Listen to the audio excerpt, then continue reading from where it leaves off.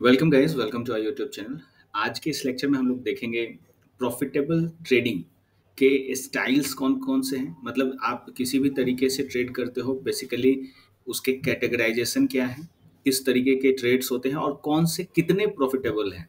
जब आप ट्रेड करते हो तो उन स्टाइल्स को फॉलो करके आपका जो रेशियो है, जैसे आपका जो विनिंग स्ट्राइक है, उसको आप कितना बढ़ा सकते हो?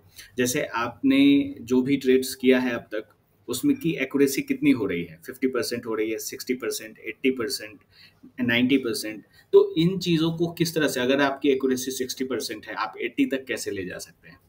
कौन से उस तरह की ट्रेडिंग है जिसमें आप उन चीज़ों को फॉलो करके आप अपनी एक्यूरेसी को बढ़ा सकते हैं? तो सबसे पहले उन ट्रेडिंग स्टाइल्स को हमें समझना होगा। फिर उन ट्रेडिंग स्टाइल्स में क्या पॉजिटिव उसके प्रोज क्या है और कॉन्स क्या है? उन दोनों चीज़ों को समझना होगा। ठीक है? तो हम लोग एक एक करके बात करते हैं। देखिए, सबसे ज़्यादा जो प्रॉफिटेबल ट्रेडिंग होती है, वो होती है ट्रेन ट्रेडिंग तो पहले हम लोग स्टाइल्स पर बात करेंगे, ठीक है? स्टाइल्स या फिर आप इसे टेक्निक्स बोलो कि किस तरीके से ट्रेडिंग होती है। तो फ़र्स्ट जो हाईली प्रॉफिटेबल ट्रेडिंग होती है, वो होती है ट्रेंड ट्रेडिंग ठीक है? तो जो एक तरीका हुआ ट्रेडिंग का, वो है trend trading second counter trend trading ठीक है? एक एक करके इस, इन चीज़ों को हम लोग देखेंगे भी कि उसमें क्या प्रॉब्लम है, कहाँ पर एक्यूरेसी कम होने के रीज़न क्या है प्रॉब्लम कहाँ पर आती है तीनों। थर्ड जो है वो है रेंज ट्रेडिंग ठीक है? तो आप किसी भी टेक्निक से ट्रेड करते हो, आपका जो बेस होगा वो यही होगा। या तो आप ट्रेंड ट्रेडिंग कर रहे होंगे, या फिर आप काउंटर ट्रेडिंग कर रहे होंगे, या फिर आप रेंज ट्रेडिंग कर रहे होंगे। ठीक है?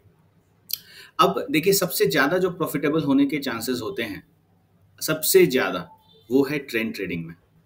तो आप अगर दस ट्रेड लेते हैं, ठीक है, आप एक वीक में वन वीक में मान लो आप टेन ट्रेड्स लेते हैं तो अगर आपकी एक्यूरेसी फिफ्टी परसेंट हो रही है ना, इसका मतलब है कि अगर आपकी सारी टेक्निक सही हैं तो भी अगर आपकी एक्यूरेसी नहीं बढ़ पा रही है तो आपका प्रॉब्लम यहाँ है कि आप या तो काउंटर ट्रेंड्स पे जा रहे हो या फिर रेंज पर जा रहे हो। क्योंकि ट्रेंड ट्रेडिंग ठीक है ट्रेंड ट्रेडिंग मार्केट ट्रेंडिंग कम समय के लिए होता है, लेकिन जो हाईली प्रॉफिटेबल ट्रेड्स होते हैं, वो ट्रेंड ट्रेडिंग के अंदर आते हैं। ठीक है? तो अगर आप दस ट्रेड लेते हो तो आपको करना चाहिए कि आपको जो, आपका जो मेन फोकस होना चाहिए, वो ट्रेंड ट्रेडिंग पर होना चाहिए। तो टेन ट्रेड्स में से आप कोशिश, आपको ये, देखिए, वैसे तो मास्टर करने के लिए आप काउंटर ट्रेडिंग और रेंज ट्रेडिंग अगर आप एक्सपर्ट हैं प्रो लेवल पर आप ट्रेड कर रहे हैं, तब तो वैसे आपको इस चीज़ के बारे में सोचने की ज़रूरत ही नहीं है कि ट्रेडिंग किस पे करनी है। आप किसी भी तरीके से प्रॉफिटेबल हो ही जाओगे। लेकिन अगर जिन लोगों को दिक्कत होती है तो उनके लिए सबसे ईजी है, वो है ट्रेंड ट्रेडिंग ईजी कहने का मतलब when we compare these all type of trading styles तो ट्रेंड ट्रेडिंग जो है, हम लोग सबसे पहले उसको डिस्कस करते हैं। तो देखिए, एक चीज़ है कि टेन ट्रेड्स में से जब आपको ट्रेड्स लेने हो तो आपके टेन ट्रेड्स में से सिक्स टू सेवन ट्रेड्स जो होंगे, उन, वो ट्रेंड ट्रेडिंग में आप जब एलोकेट करेंगे तो आपके चांसेस काफ़ी बढ़ जाएँगे। या फिर अगर आप बहुत ज़्यादा प्रॉब्लम है थर्टी फोर्टी परसेंट एक्यूरेसी आ रही है तो आपको ज़्यादा से ज़्यादा ट्रेंड ट्रेडिंग करनी चाहिए। ठीक है? तो आपका जो प्रॉफिटेबल होना, वो भी कंसिस्टेंट बेसिस पे, वो चालू हो जाएगा। ठीक है? अब हम लोग एक एक चीज़ करके देखते हैं कि ठीक है ट्रेंड ट्रेडिंग जब हम करते हैं, वो क्यों प्रॉफिटेबल है? अगर प्रॉफिटेबल है तो क्यों है? उसके बाद देखेंगे काउंटर ट्रेंड में क्या प्रॉब्लम है? क्यों यहाँ पर एक्यूरेसी लो होती है? और थर्ड रेंज ट्रेडिंग को भी देखेंगे, ठीक है? तो एक एक करके हम लोग इन लोग, इन चीज़ों को समझते हैं। देखिए, सबसे पहले हम लोग बात करेंगे कि ट्रेंड ट्रेडिंग में क्या चीज़ें हैं, ठीक है? फ़र्स्ट है ट्रेंड ट्रेडिंग अब देखिए ट्रेंड ट्रेडिंग में प्रॉफिटेबल होने के चांसेस क्यों हैं? किसी भी स्टॉक में आप ट्रेड करते हो। स्टॉक इस तरीके से ऊपर जा रहा है, ठीक है? तो आप क्या कर रहे हो? बेसिकली हायर हाइज ठीक है? और हायर लोज की सीक्वेंस देख रहे हो। और उसके बाद आप ट्रेंड में तो जब भी मार्केट रिट्रेस कर रहा है, आप उस जगह पर आपकी एंट्री हो रही है और आप प्रॉफिटेबल होते जा रहे हो। क्योंकि मार्केट क्या कर रहा है कि एक सीक्वेंस मतलब एक ट्रेंडिंग मार्केट इसे हम आप कह सकते हैं। तो ट्रेंडिंग मार्केट में इस लेवल से अगर आप एक एक सही लेवल ये है और आप यहाँ से कर बाउंस बैक करता है मार्केट तो आपके स्टॉप लॉसेस जहाँ भी होंगे उसके हिट होने के चांसेस काफ़ी कम होते हैं। ठीक है? लेकिन जब आप काउंटर ट्रेंड ट्रेड्स करते हो तो देखिए दोनों में डिफरेंस क्या है। मैं एक बार इसे पूरा डिलीट इधर करके मैं बताता हूँ। दोनों में डिफरेंस को समझिए कि है क्या और क्यों प्रॉब्लम होती है। ये है ट्रेंड ट्रेडिंग ठीक है? ट्रेंड ट्रेडिंग और यहाँ है काउंटर ट्रेंड रेंज की बात हम लोग इसके बाद कर लेंगे। अब इन दोनों के डिफरेंस को देखिए दोनों के स्ट्रक्चर्स को भी समझना है। अब आप देखिए कि सबसे पहले स्टॉक अगर ऊपर से हम लोग देख रहे हैं मार्केट एक डाउन ट्रेंड में है, ठीक है? और इस तरीके से मार्केट में मूवमेंट है। और उसके बाद जब वापस से स्टॉक ऊपर के लेवल पर आता है और जब आप यहाँ पर सेल करते हैं तो आपने पहले ये देखा हुआ है कि मार्केट में एक जो ट्रेंड है, वो निगेटिव है, ठीक है? फ्लो जो है, वो डाउनवर्ड है। उसके बाद जब आप देख रहे हैं कि इसका मोमेंटम फेड हो रहा है, ठीक है? यहाँ पर आप प्राइस एक्शन के कंसेप्ट जो आपने सीखा है, उन चीज़ों को आप लगा सकते हैं। तो आप जब देखते हैं कि ठीक है मार्केट में इसका जो मोमेंटम है वो वीक हो रहा है, आप किसी लेवल पर आप एंट्री लेते हो, ठीक है? तो जब आप एंट्री लेते हो और तो यहाँ पर आप एंट्री लोगे तो ये सेल साइड का है सेल की एंट्री लोगे, आपके स्टॉप लॉसेस यहाँ होंगे टारगेट्स यहाँ पर होंगे, ठीक है? ये अभी हम लोग इस टेक्निक्स पर नहीं जाएँगे, ये टेक्निक्स सारे प्रोफेशनल टेक्निक्स है। जब आप प्राइस एक्शन को मास्टर करते हैं तो आप इन टेक्निक्स को अच्छे से समझ सकते हैं। लेकिन हम लोग अभी ये बात कर रहे हैं कि क्यों प्रॉफिटेबल है और इससे अपोजिट क्या हो जाता है ट्रेंड ट्रेंड काउंटर ट्रेंड में। तो जब आप लेते हैं आप अपने सारे लॉजिक्स को आपने यहाँ पर अप्लाई किया सारे पैरामीटर्स को देखा आप आपने सारे कंसेप्ट को यहाँ पर लगाया आपके जो सेटअप के जितने भी रूल हैं आपने लगाया और आपने एंट्री यहाँ पर ली तो आपके इस ट्रेड को परफॉर्म होने के चांसेस 70 टू 80 परसेंट इवन आप 90 परसेंट तक कह सकते हैं इस, इसकी एक्यूरेसी होती है। क्योंकि आप क्या कर रहे हो कि बेसिकली एक ट्रेंड के साथ हो। आपको पता है ट्रेंड निगेटिव है। इस इस सेलिंग में मोमेंटम है, काफ़ी ज़्यादा रिट्रेसमेंट है। जो पुल बैक्स हैं, वो कम आ रहे हैं। तो छोटी छोटी चीज़ों को आप जब यहाँ पर पूरा प्लान आउट करते हो और इन सारी चीज़ों को लिखते हो तो आपको समझ में आएगा कि ठीक है, और आपके सारे सेटअप्स लॉजिक्स कंप्लीट होते हैं। तो आप ट्रेड लेते हो तो इसके प्रॉफिटेबल होने के चांसेस काफ़ी हाई होते हैं। लेकिन इसके अपोजिट इसके अपोजिट काउंटर ट्रेंड ट्रेंड्स को देखें। मार्केट में, ठीक है, पहले से निगेटिविटी है सेलिंग आई है। अब वापस से यहाँ भी फ्लो निगेटिव है, ठीक है। अब इसके बाद मार्केट यहाँ से बाइंग इस तरीके से आती है, ठीक है। अब आप यहाँ पर क्या करना चाह रहे हो? काउंटर ट्रेंड ट्रेड्स में, जैसे आप देख रहे हो कि फ्लो निगेटिव है, जो फ्लो है वो निगेटिव है, आपको क्या करना चाहिए था?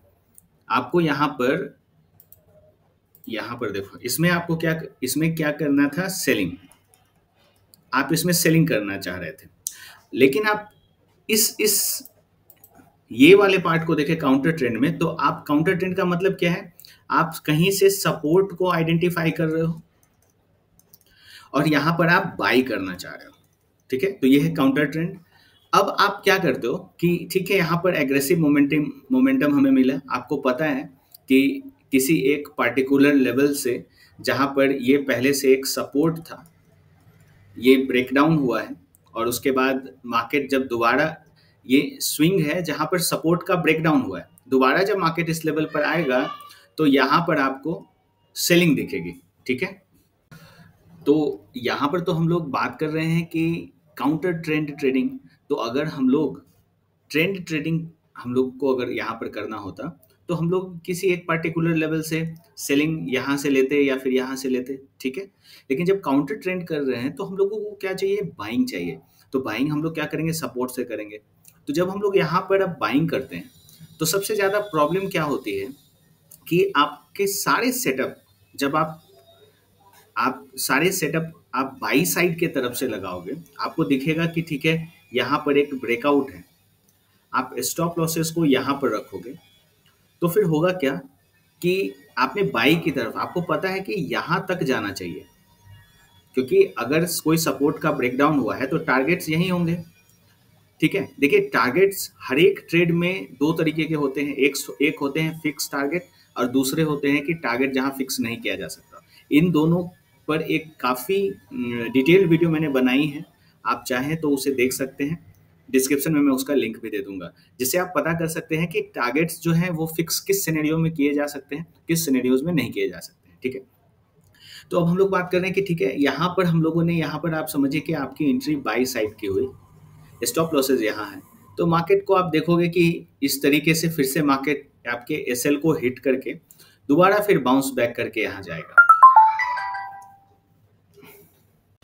तो इसके पीछे रीज़न क्या है? देखिए रीज़न को समझना काफ़ी इंपॉर्टेंट है, क्योंकि देखिए, सिर्फ़ रूल चीज़ों को रूल की तरह आप देखेंगे तो ये कभी भी समझ नहीं पाएँगे। अब आप देखिए कि अगर हम लोग यहाँ पर फ्लो निगेटिव है, हम लोग यहाँ ट्रेंड जो है वो निगेटिव है मार्केट का फ्लो निगेटिव है, हमें सेल लेना चाहिए, लेकिन हम लोग क्या कर रहे हैं कि यहाँ पर बाई की सोच रहे हैं। तो बेसिकली होता क्या है कि देखिए, अगर आप, अगर आपको यहाँ से सेल करनी है, देखिए सेल करनी है तो आपको क्या चाहिए कि आपको चाहिए कि ज़्यादा से ज़्यादा जो है सो बाइंग एक्टिविटी हो। तो बाइंग अब देखिए सेलिंग यहाँ से भी हो सकती है सेलिंग यहाँ से भी हो सकती है। ध्यान से इस चीज़ को समझिएगा सेलिंग इस लेवल से भी सेलिंग हो सकती है, यहाँ से भी सेलिंग हो सकती है। ये ज़रूरी नहीं है कि मार्केट ऊपर यहाँ जाता, ठीक है? आप कई बार अगर आप आप ट्रेड्स करिए, आपको, आप जब जितनी ज़्यादा, जितना ज़्यादा आप ट्रेड करोगे, आपको पता होगा कि कभी इसी लेवल से मार्केट में फॉल आ जाता है, कभी दोबारा इसी लेवल से फॉल आएगा, कभी कभी मार्केट में यहाँ पर आप मूवमेंट होगी, वहाँ से फॉल आएगा। तो किसी भी एक लेवल से जब फॉल आता है तो आपको क्या समझना है वहाँ पर? कि किस लेवल से फॉल होगा? तो यहाँ तो आपको, मैंने आपको को के अलग से वीडियोस डाल रखे हैं, आप उससे देख सकते हैं। को जब आप करेंगे सेक्टर की मूवमेंट बाकी सारे जो पियर्स हैं, उनकी मूवमेंट को ट्रैक करेंगे। उससे जब आप इसे टैली करेंगे तो आप ये पता कर सकते हैं कि वन टू थ्री किस लेवल से सेलिंग आएगी। लेकिन, अब आप देखिए कि जब आपके पास सप्लाई बहुत ज़्यादा हो, किसी भी चीज़ का, और डिमांड बढ़ रहा हो तो जहाँ जहाँ ब्रेकआउट देखेंगे आप, समझिए इस चीज़ को। यहाँ पर क्या है? ब्रेकआउट जहाँ भी बायर्स मिलेंगे बायर्स का ब्रेकआउट आप क्या करेंगे? वहाँ पे करेंगे सेल आप सोच के देखिए, आप इस एक मिनट ये भूल जाइए कि आप ट्रेडिंग कर रहे हैं। आप ये समझिए कि डिमांड जहाँ बढ़ा, यहाँ पर क्या था? डिमांड जैसे ही डिमांड दिखा, आप क्या करोगे? यहाँ पर बहुत सारे ऐसे लोग हैं जो बाई करने के लिए रेडी हैं। यही वो पॉइंट है जहाँ पर आप सेल करोगे। आप फिर से दोबारा आपको बाइंग दिखेगी, फिर आप क्या करोगे? सेल करोगे। तो इसलिए होता है कि आपके जो प्रॉपर स्टॉप लॉसेज है ना, वो मार्केट हिट कर देता है और उसके बाद ऊपर चला जाता है। इस चीज़ को आपको समझना है, क्योंकि ब्रेकआउट ब्रेकआउट जो बार बार आपको दिख रहा है, ये ब्रेकआउट पर अगर आप भी यहाँ पर आपके पास बहुत सारे ऑर्डर्स है ना, आप यहाँ पर ऑर्डर लेके बैठे हो सप्लाई के लिए डिमांड जैसे ही दिखेगी ना, आप उसे सप्लाई सप्लाई दोगे, यहाँ दोगे यहाँ दोगे। जब जब जब दिखेगा, तब तब आप वहाँ पर सप्लाई करने की कोशिश करोगे। इसलिए क्या है कि यहाँ पर बार बार आपको ट्रेंड लाइन का ब्रेकडाउन दिखेगा, फिर भी मार्केट ऊपर चला जा रहा है। ये प्रॉब्लम इसलिए यहाँ पर होती है। ये चीज़ें ट्रेंड ट्रेडिंग में ऐसा नहीं है। ट्रेंड ट्रेडिंग में अगर आप देखोगे ट्रेंड को मार्केट फॉलो ही करता है, ठीक है? इस तरह से अगर आप देखो तो मार्केट क्या कर रहा है? अपने सपोर्ट जो सपोर्ट है वो रेसिस्टेंस बनता जा रहा है। जो, ठीक है ना? इस तरीके से मार्केट इस सीक्वेंस में मार्केट नीचे चला जाएगा। इसमें स्टॉप लॉसेस के हिट होने के चांसेस काफ़ी कम होते हैं। इसमें ज़्यादा होते हैं। और इस चीज़ का जो लॉजिक है, इसके पीछे वो मैंने आपको बताया कि रीज़न क्या है। रीज़न यही है कि हर एक जो डिमांड है आपके लिए, वहाँ पर रेडी है सप्लाई करने के लिए। अगर आप इस चीज़ को समझ रहे हैं तो आपको ये पता होगा कि काउंटर ट्रेंड ट्रेडिंग में थोड़ी सी प्रॉब्लम क्यों आती है। ठीक है? दो चीज़ हम लोग देखें। थर्ड हम लोग वो भी देख लेते हैं। रेंज रेंज के टॉपिक को भी देख लेते हैं कि रेंज में क्या है। फिर इस इस एक के प्रोज को देखे हम लोगों ने कॉन्स को भी देखा, इसके प्रोज एंड कॉन्स को भी देखा। थर्ड जो है रेंज ट्रेडिंग उसमें भी समझते हैं कि उसमें क्या प्रॉब्लम है और क्या चीज़ होती है। अब देखिए, ये चीज़ें मैंने कई बार बता भी रखी है। जब आप रेंज ट्रेडिंग करते हो तो बेसिकली आप क्या कर रहे हो, आप स्पॉट कर रहे हो एक रेंज को, ठीक है? रेंज का मतलब क्या है? एक कॉम्पैक्ट एक कॉम्पैक्ट एक कॉम्पैक्ट स्ट्रक्चर ठीक है ना? जिसमें आप एक पैरेलल लाइन अगर ड्रॉ करो तो फिर उसे आप रेंज कहते हो, ठीक है? लेकिन इसमें प्रॉब्लम क्या है ना कि इसमें पिन बार्स कभी काफ़ी ज़्यादा आते हैं। अब आप देखोगे यहाँ पर एक शूटिंग स्टार दिखेगा आपको, यहाँ पर हैमर्स दिखेंगे। तो इस तरह से विक्स होंगी बड़ी बड़ी बड़ी विक्स होंगी। तो होता क्या है कि देखिए, अगर कोई स्ट्रक्चर्ड लाइन है, उसके ऊपर ऑब्वियस है कि कई सारे स्टॉप लॉसेस होंगे। ठीक है? ऑब्वियस है कि कई सारे स्टॉप लॉसेस होंगे। अब स्टॉप लॉसेस होने से होता क्या है? होता यह है कि अगर इन इन सभी जगहों पर स्टॉप लॉसेस हैं तो ये चीज़ पता है मार्केट मेकर्स को। और वो क्या करते हैं कि बार बार स्टॉप लॉसेस को हिट करके उनकी लिक्विडिटी मिलती है। जैसे आपको मान लो, आपको बाई करना है, ठीक है? आप, आपको पता है आपको बाई करना है, आपको इतने शेयर्स बाई करने हैं। ठीक है? और ये एक रेंज है। तो आप कहाँ पर बाई करोगे? ब्रेकआउट पर बाई करोगे क्या? आंसर है नहीं। आप आप सपोर्ट लेवल पे और आपको ऑर्डर्स मिलेंगे कहाँ? आप ये सोचो ना, जब जब कोई रेडी होगा, फिर से वही चीज़, जब कोई रेडी होगा बाई करने के लिए मतलब जब डिमांड जनरेट होगा, तभी तो आप सेल कर सकते हो। और जब कोई सेल करना चाह रहा होगा, तभी तो आप बाई करोगे ना। आप अगर एकुमुलेट करना चाह रहे हो इतने शेयर्स को वन लाख शेयर को तो आप क्या करना चाह रहे हो? बाई करना चाह रहे हो। तो सेल करने के लिए रेडी कौन है? आप आप आप अगर जिस भी टेक्निक से आप जानते हो, क्या यहाँ पर आप ब्रेकआउट आता है तो आप सेल करना चाहते हो क्या? आंसर है नहीं। आप सेल कहाँ करते हो? आप सोच के देखिए। आप सेल करते हो इस लाइन के नीचे। जब ब्रेकडाउन होता है तो यहीं पर आपको लगता है कि एक सपोर्ट का ब्रेकडाउन हुआ और आप यहाँ पर सेल करते हो। अब यही जो है, इस लेवल से जिन्हें एकुमुलेट करना है, वो बाइंग करके ऊपर आ जाते हैं, ठीक है? और मार्केट ऊपर की तरफ़ चला जाता है। तो एक series of series of orders एक सीरीज़ ऑफ़ ऑर्डर फ्लो जो रेडी है सेल करने के लिए, उनके सारे ऑर्डर्स को कंज्यूम करके मार्केट ऊपर चला जाता है। यही यही सिचुएशन है सेलिंग साइड के लिए भी, ठीक है? तो हम लोगों ने तीन इसलिए स्टॉप लॉसेज इसमें काफ़ी ज़्यादा हिट होते हैं। अब आप देखिए कि हम लोगों ने अभी तीन चीज़ों को देखा, ठीक है? हम लोगों ने ट्रेंड को भी देखा काउंटर ट्रेंड को भी देखा और रेंज ट्रेडिंग को भी देखा। इसलिए जो एक्यूरेसी है, या फिर आप कह सकते हो कि जो प्रॉफिट होने के चांसेस ज़्यादा हैं, वो इसमें काफ़ी हाई हैं। इसमें, इसके कंपैरिजन में मीडियम यहाँ पर लो लेकिन ऐसा नहीं है, ये एक बिगनर अप्रोच है। अगर आप प्रोफेशनल हैं, अगर आप बहुत अच्छे से काउंटर ट्रेंड ट्रेडिंग भी जानते हैं तो आप इसमें भी प्रॉफिटेबल हो सकते हैं। आप आप रेंज ट्रेडिंग में भी प्रॉफिटेबल हो सकते हैं। लेकिन जब आप शुरुआत कर रहे हैं आप जर्नी की तो आप ट्रेंड ट्रेडिंग को ढूंढिए। तो अगर आप ट्रेंड में और मैक्सिमम जो प्रॉफिट्स होते हैं, वो ट्रेंड में है, क्योंकि मार्केट इस तरह से अगर ब्रेकआउट किया, वापस अगर किसी लेवल पर सपोर्ट लेके बाउंस होता है, आपको ये नहीं पता कि जब मार्केट ट्रेंड में है, वो कितना चला जाएगा। यही वो टारगेट्स हैं जो फिक्स नहीं होते और इसमें मैक्सिमम प्रॉफिट्स होते हैं। लेकिन काउंटर ट्रेंड में क्या है? किसी एक लेवल से आप अगर यहाँ से बाई करने की सोचते हो, आपको पता है कि इस लेवल पर रेसिस्टेंस है, आप प्रॉफिट बुक करोगे। तो यहाँ पर लिमिटेड प्रॉफिट्स होते हैं, ठीक है? रेंज ट्रेडिंग इसमें आपको पता है कि, ठीक है रेंज जितना छोटा और बड़ा हो, उतने से ही होता है और इससे हिट होने के चांसेस होते हैं, ठीक है? तीन तरह के ट्रेडिंग स्टाइल्स को हम लोगों ने देखा और डिपेंड करता है। अगर आप शुरुआत कर रहे हो तो आप ट्रेंड ट्रेडिंग को करिए। ये काफ़ी इजी है। आपको शुरू में आप प्रॉफिटेबल जब हो जाएँगे, उसके बाद आप काउंटर ट्रेंड्स और रेंज ट्रेडिंग में जाइए। राइट आई होप कि आपको ये वीडियो अगर यूजफुल लगी है, आप इसे, आपने कुछ सीखा है तो do subscribe like the video right thanks for watching